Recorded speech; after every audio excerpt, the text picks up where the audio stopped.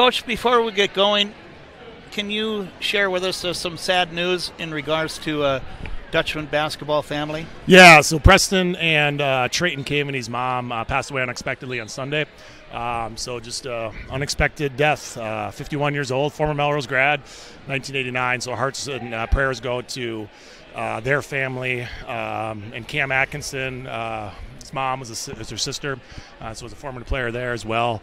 Uh, so yeah, our, our thoughts and prayers go out to their family. It's just a it's a very, very sad deal. Oh, it is. I recall talking to her when Melrose played at Dos Equis that night, and she came up to me and she was all fired up. She says, oh. You remember who I am? And I said, Actually, I do. She says, Those are my two boys out there, and she was so proud of that. So proud, and she's just a super fan and cooking for all the boys all the time and stuff like that. So uh, we feel we feel very sad for her and uh, her family, and um, it's it's a, it's a sad situation.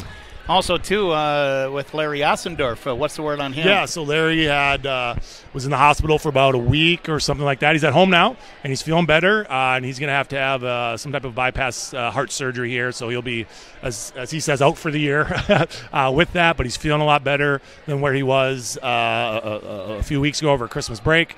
so yeah, it was pretty scary. He had called 911 and collapsed, and and the the medics revived him and got him going, and, and then he had, you know, he had COVID and pneumonia and flu flu and all that. So once that clears out of his system, then uh, he'll have his um, he'll have a surgery, and then uh, he'll be back on the golf course before he knows it. Mm. Yeah, we need him back, don't we? We do. We do. We don't know what to do without him. it's been kind of weird. Yeah.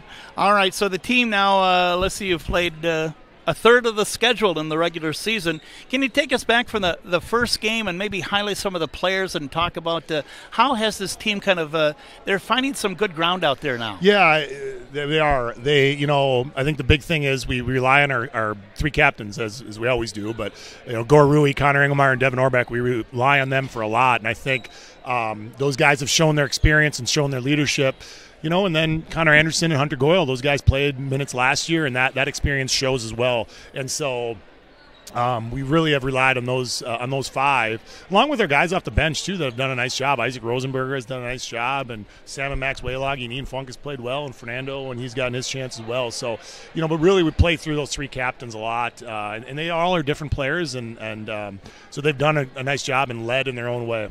They're all showing the ability to score right now too, aren't they? They are, you know, and you know, from a guy like Devin, any type of scoring that he gets is great, but he can put the, put the ball on the floor just because he's an athlete. And same thing with Gore. We know he can score on Ronnie. And, you know, Connor Anderson has really stepped up uh, as well. And so it's no secret we're not the greatest offensive team in the world, but all of a sudden those guys chip in, and Hunter Goyle shoots a very high percentage from the floor. So when he shoots the ball, we're pretty confident goes in, and Isaac Rosenberg scores. So all of a sudden now, you know, you got six guys here that can that can put the ball on the floor, and that's the name of the game.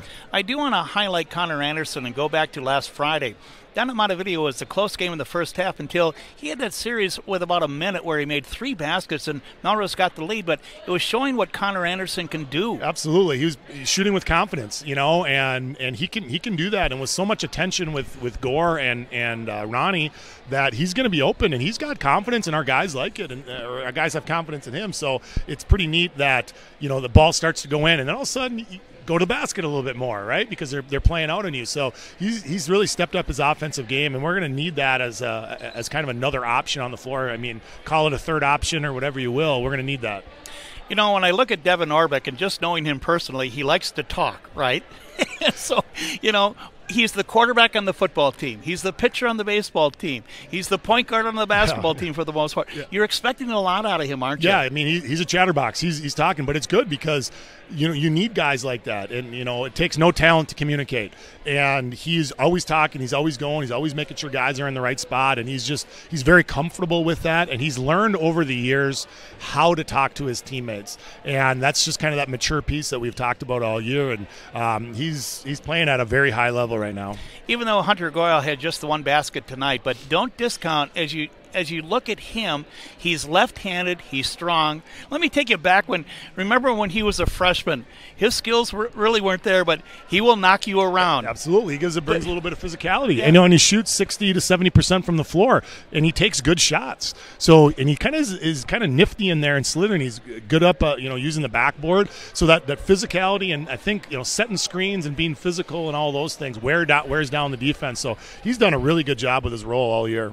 I always get a kick out of watching Gore Rui because. Uh, You know, he's got a lot of skills out there. He can do a lot. He's just an intriguing guy at six eight. He can shoot the three, he can handle the ball, he can pass. He's been really good this year at finding angles and using the backboard.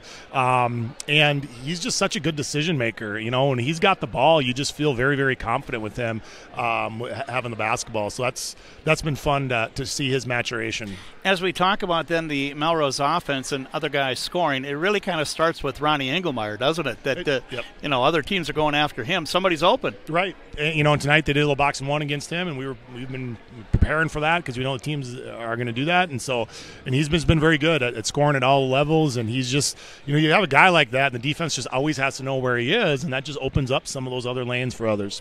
All right, just to kind of wrap it up here, uh, I saw last night good game down at Albany. Albany finally got a home game first of all, yep. so they played Pequot Lakes. Pequot leads by five at half. Albany wins by twenty. What is making Albany so good? Well, we you know we, it's weird because we were supposed to play them before Christmas, and now we play them you know twice in in like nine days um, in, in, February. So we really haven't watched a ton of them, but we know them so well. They're just so athletic. They're so deep. They can beat you in many ways. And I think maybe more than than past years, they have this spurtability factor that they maybe haven't had as much in years past. Where boy, it can be a, a tight game and it could be down by 15 in a hurry. Um, and so they just can beat you in so many different ways, and they kind of wear you down. Um, you know, they're they're I, think head and shoulders being behind uh, in front of anybody in the section.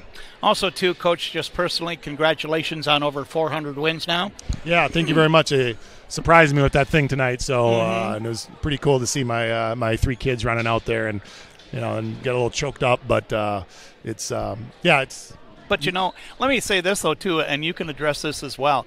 You've got great assistant coaches, don't you? Absolutely phenomenal. You know, and and that consistency I think speaks a lot to our program, and they do so much to be able to prepare that, that goes into it. It's not just these guys; it's our junior high coaches as well, and the travel team parents and program and all of that.